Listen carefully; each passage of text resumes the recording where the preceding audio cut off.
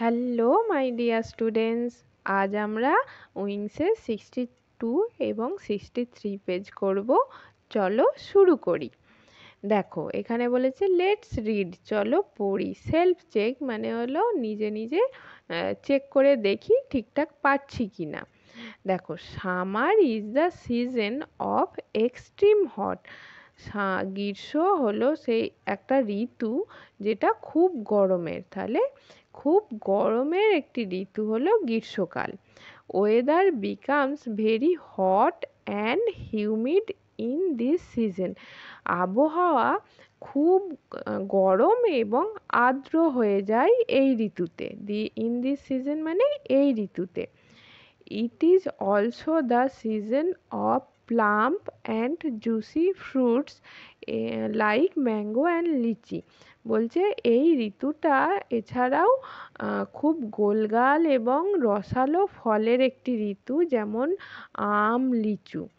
In contrast এর তুলনায় winter is calm and cold বলছে, এর তুলনায় শীত খুব শান্ত এবং ঠান্ডা। Winter cover many hill top with thick blanket of snow.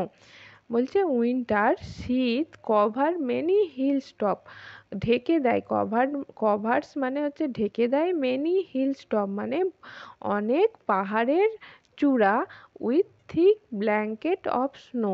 কি দিয়ে? একটা মোটা বরফের কম্বল দিয়ে অনেক পাহাড় ঢেকে দেয়। কে ঢেকে দেয় উইন্টার শীতকাল। অলদো যদিও summer and winter share nothing common in general যদিও এই গ্রীষ্ম এবং শীতের কোনো সাধারণ মিল পাওয়া যায় না।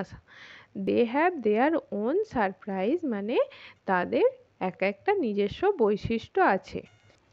অ্যাক্টিভিটি ওয়ান দেখো, বলেছে অ্যারেঞ্জ দ্য প্রপারলি লেটার এই অক্ষরগুলো সঠিকভাবে সাজাও টু মেক মিনিংফুল ওয়ার্ড একটা সাজিয়ে একটা মানেযুক্ত শব্দ তৈরি করো। One is done for you একটা তোমাদের জন্য করে দেয়া আছে। তাহলে এটাকে সাজালে কি হবে? Cockroach C O C K R O A C H cockroach মানে আরশোলা। এটা সাজালে কি হবে? দেখো mosquito M O S Q U I T O mosquito. Mosquito মানে তোমরা সকলেই জানো মশা। এটাকে সাজালে কি হবে দেখো? এটাকে সাজালে হবে গ্র্যাস হপার তাহলে grass G R A double S grasshopper H O P P, E, R. এখানে দেখো দুটো ঘর কম আছে। আমি দুটো ঘর বাড়িয়ে নিচ্ছি। কারণ এখানে দেখো যদি অক্ষরগুলো গোনো, এক, দুই, তিন, চার, পাঁচ, ছয়, সাত, আট, নয়, দশ, এগারো। তাহলে এক, দুই, তিন, চার, পাঁচ, ছয়, সাত, আট, নয়, দশ, এগারো। তাহলে এগারোটা ঘর দেওয়ার কথা ছিল। এখানে দুটো কম দেয়া আছে। তাই grasshopper G R A double S H O P P E R grasshopper grasshopper মানে ঘাস ফড়িং। আর এটাকে সাজালে কি হবে? Honeybee H O N E Y B double E honeybee মানে মৌমাছি। তাহলে মৌ মাছি এটা কি হবে? ঘাস ফড়িং ঘাস ফড়িং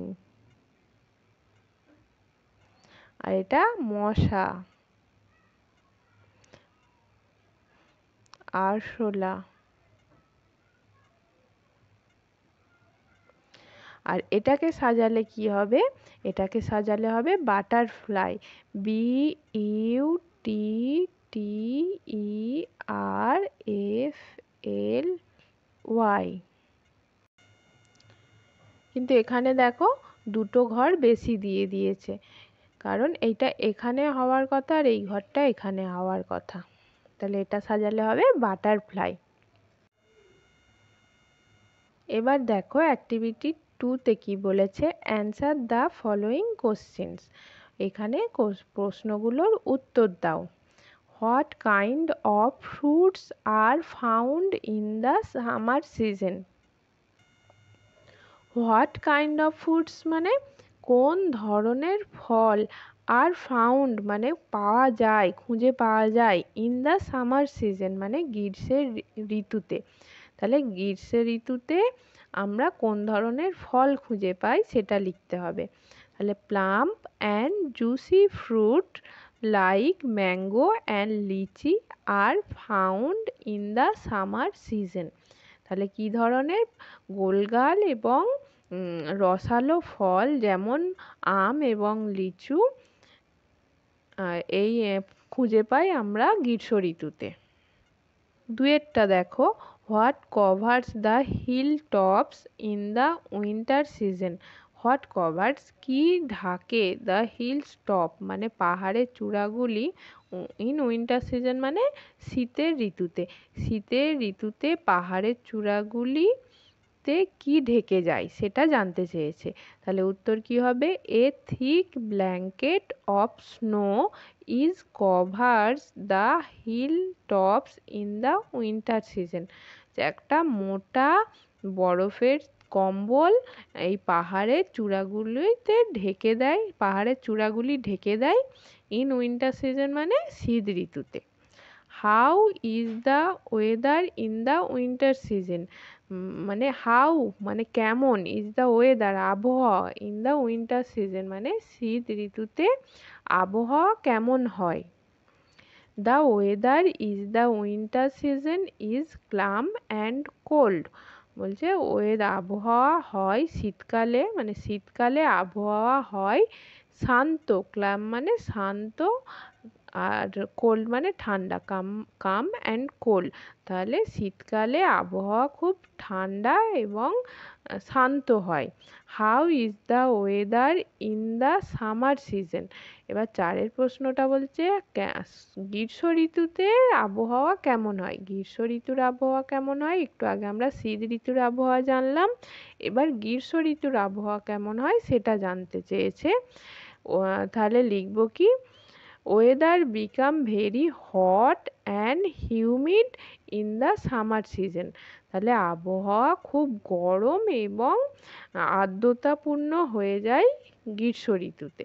তাহলে এইগুলো আমরা সবই এই আগের যে প্যাসেজটা দেয়া ছিল সেখান থেকেই লিখেছি। আজ তাহলে এই পর্যন্তই। আমি পরের ভিডিওতে পরবর্তী কোনো অংশ নিয়ে আলোচনা করব। তোমরা যারা চ্যানেলটি এখনও সাবস্ক্রাইব করনি, তারা অবশ্যই সাবস্ক্রাইব করে নেবে এবং চ্যানেলের অন্যান্য ভিডিও দেখার জন্য চ্যানেলের প্লেলিস্টে গিয়ে দেখে নেবে। যারা আমার ফেসবুক পেজ ফলো করতে চাও, তারা চ্যানেলের ডেসক্রিপশানে অথবা ভিডিওর ডেসক্রিপশানে লিঙ্ক পেয়ে যাবে।